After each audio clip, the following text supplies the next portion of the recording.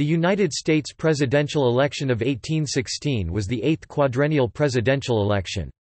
It was held from Friday, November 1 to Wednesday, December 4, 1816.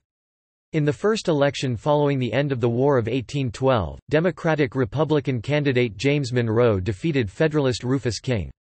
The election was the last in which the Federalist Party fielded a presidential candidate. As President James Madison chose to retire after serving two terms, the Democratic-Republicans held a congressional nominating caucus in March 1816. With the support of Madison and former President Thomas Jefferson, Secretary of State Monroe defeated Secretary of War William H. Crawford to win his party's presidential nomination. Governor Daniel D. Tompkins of New York won the Democratic-Republican vice presidential nomination, continuing the party's tradition of balancing a presidential nominee from Virginia with a vice presidential nominee from either New York or New England. The Federalists did not formally nominate a ticket, but Senator King of New York emerged as the de facto Federalist candidate. The previous four years of American politics were dominated by the effects of the War of 1812. While the war had not ended in victory, the peace concluded in 1815 was satisfactory to the American people, and the Democratic Republicans received the credit for its conclusion. The Federalists found themselves discredited by their opposition to the war, as well as the secessionist rhetoric from New England embodied by the Hartford Convention. Furthermore, President Madison had succeeded in realizing certain measures favored by the Federalists, including a national bank and protective tariffs.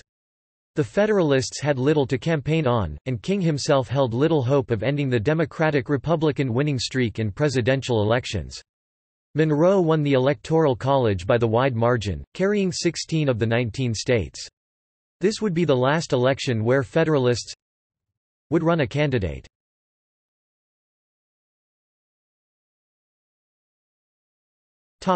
Nominations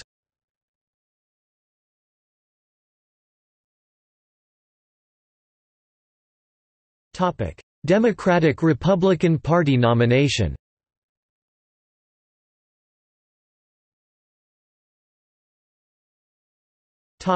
Withdrew before caucus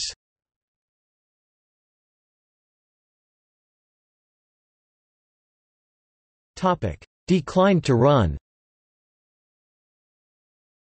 Monroe was the favorite candidate of both former President Jefferson and retiring President Madison. However, Monroe faced stiff competition from Secretary of War William H. Crawford of Georgia. Also, there was widespread sentiment, especially in New York, that it was time to end the Virginia dynasty of presidents, resulting in Daniel D. Tompkins and Simon Snyder, the governors of New York and Pennsylvania respectively, briefly considering running for the nomination. But Monroe's long record of service at home and abroad made him a fitting candidate to succeed Madison. Crawford never formally declared himself a candidate, because he believed that he had little chance against Monroe and feared such a contest might deny him a place in the new cabinet. Tompkins and Snyder realized they had even less chance of beating Monroe to the nomination, and instead positioned themselves to run for the vice presidency. Still, Crawford's supporters posed a significant challenge to Monroe. In March 1816, Democratic-Republican congressmen in caucus nominated Monroe for president and Tompkins for vice president. Monroe defeated Crawford for the nomination by a vote of 65 to 54, while Tompkins defeated Snyder by a wider margin of 85 votes to 30.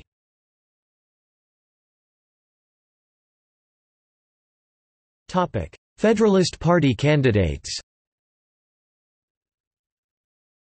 Federalist candidates in hopes of uniting with disaffected Democratic Republicans, as they had in the previous election, the Federalists initially planned to hold their own congressional nominating caucus after that of the Democratic Republicans.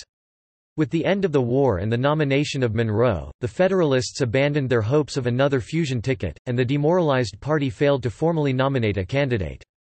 Senator Rufus King of New York, who had been the party's 1804 and 1808 vice presidential nominee, and who had been nominated for president by a dissident faction of the party in 1812, eventually emerged as the de facto Federalist candidate. Several Federalists would receive electoral votes for vice president, with former Senator John Eager Howard of Maryland receiving the most votes.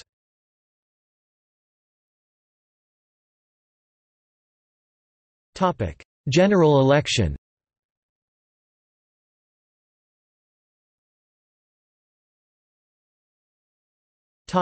Dispute about Indiana On February 12, 1817, the House and Senate met in joint session to count the electoral votes for president and vice president. The count proceeded without incident until the roll came to the last state to be counted, Indiana. At that point, Representative John W. Taylor of New York objected to the counting of Indiana's votes. He argued that Congress had acknowledged the statehood of Indiana in a joint resolution on December 11, 1816, whereas the ballots of the Electoral College had been cast on December 4, 1816.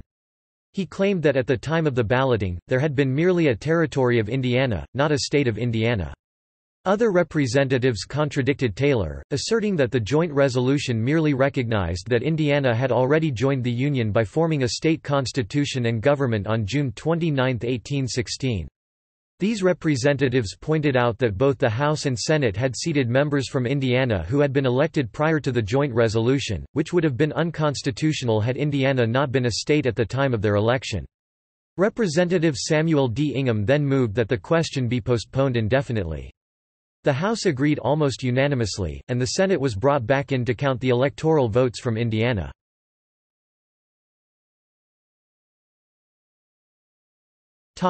Results When the votes were counted, Monroe had won all but three of the 19 states. King thought that a Monroe victory was inevitable, and did not seriously contest the election. Each of the three states that were won by King voted for a different person for vice president. Massachusetts electors voted for former United States Senator and future Governor John Eager Howard of Maryland. Delaware chose a different Marylander, sitting United States Senator Robert Goodloe Harper. Connecticut split its vote between James Ross of Pennsylvania and Chief Justice John Marshall. Maryland did not choose its electors as a slate, rather, it divided itself into electoral districts, with each district choosing one elector. Three of Maryland's 11 districts were won by Federalist electors. However, these electors did not vote for King or for a Federalist vice president, instead casting blank votes as a protest.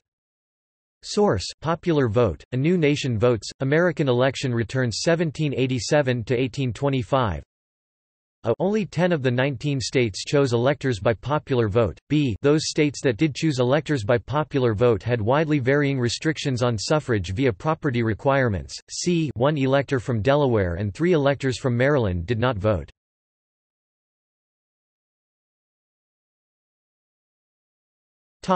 Electoral college selection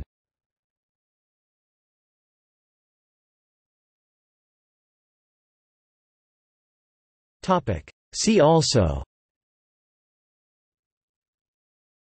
First inauguration of James Monroe History of the United States 1789 1849 United States House elections 1816 United States Senate elections 1816 and 1817